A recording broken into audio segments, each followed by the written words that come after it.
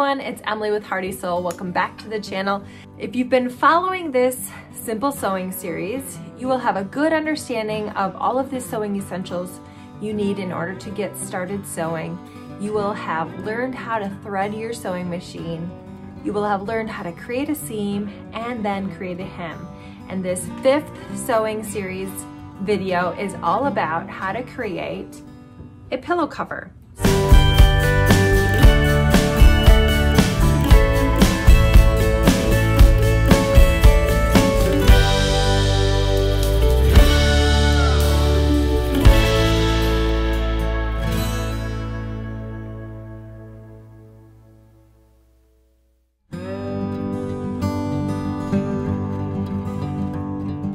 So this pillow cover is out of an upcycled sweater and I love using upcycled things just because it's like why not recycle something and make it new again. So I really love using sweaters for the holiday season and when it's colder outside they just feel so cozy. And I happened to just pick up three kind of cream colored sweaters from my local thrift store and it worked out really well. And so I think I've got maybe about $5 into three sweaters. So today I'm going to show you exactly how to make an envelope style pillow cover. So you can see in the back here, this is how we get the pillow form in. You could certainly purchase a pillow form. Um, I really like just upcycling something. I'll go to a thrift store, find something that looks washable, and I will buy that. Maybe three that are the same size is always nice. And I'll take them home, wash them up really good, and then give them a new life, like giving them a pillow cover. I really like switching out my pillow covers every season. It's just sort of add something nice and fresh to our living room, and especially in the fall and the winter season, it's nice to put on my sweater pillow covers on the pillows. So today we're gonna talk all about how we put all of the steps that you just learned into one project. This is probably the most basic project you can do.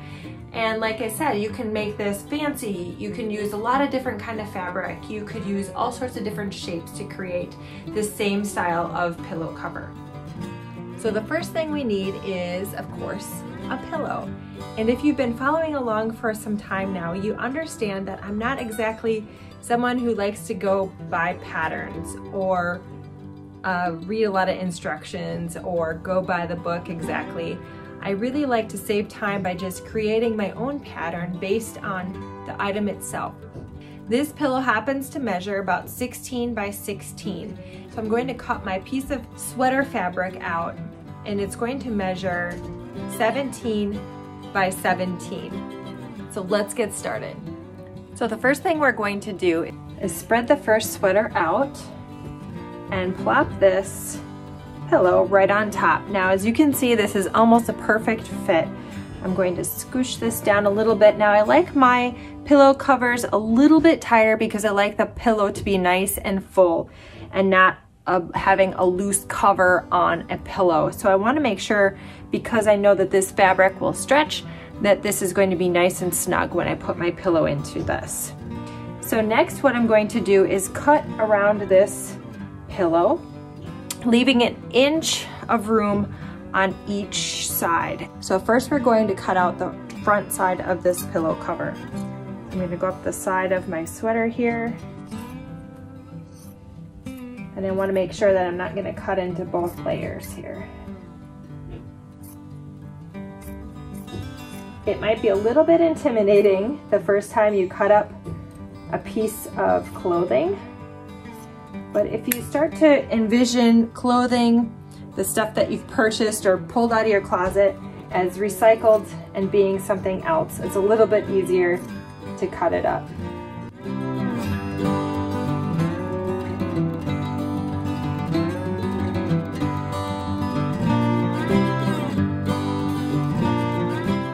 So we've got our first piece done. And for my second back piece, now this is the part that we are going to create an envelope on. And the most important part is that they must overlap. So we want the fabric to overlap in the back. that means that we have to create a hem. And I like my hems to be about one inch a piece. So I'm gonna add one inch to both little sections of the back panel here. So I'm going to actually increase this by two inches. All right, then we need to cut them in half. So we have two equal halves.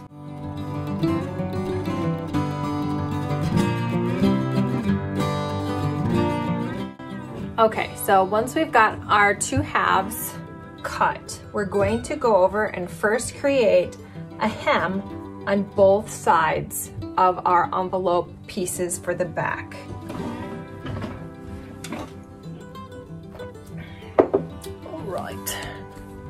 So I want my hem on this piece to be on this side. This is the wrong side of the fabric. This is the right side of the fabric.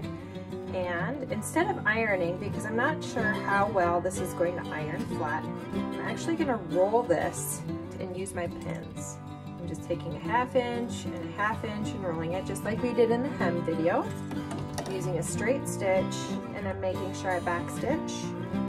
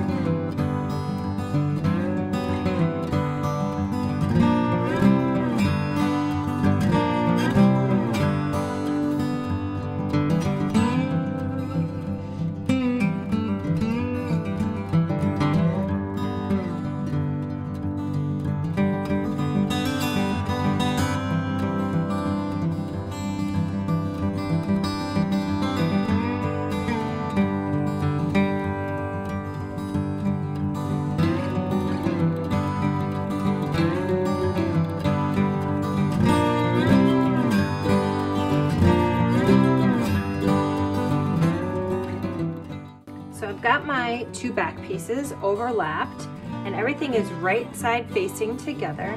And I'm just gonna go ahead and pin all the way around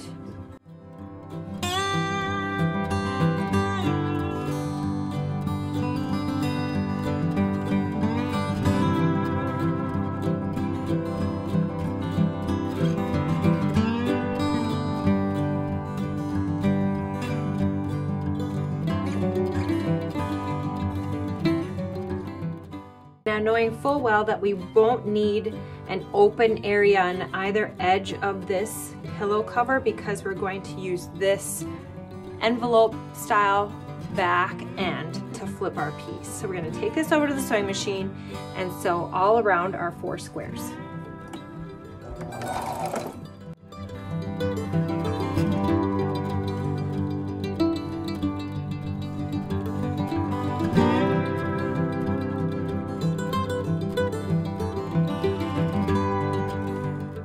Okay, so the next thing we need to do once we've got all our four sides sewn, now it is up to your discretion whether you would like to finish the outside edges of your pillow cover. You could do the small zigzag like I showed you.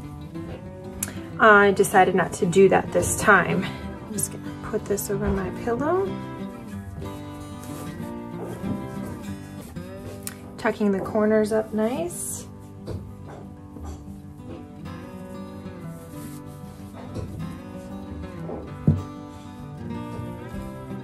And there we have it. We have one pillow cover that has been covered by a very beautiful and very soft sweater. We've upcycled that sweater into something new and fresh and that will go lovely with the holiday season and the colder temps.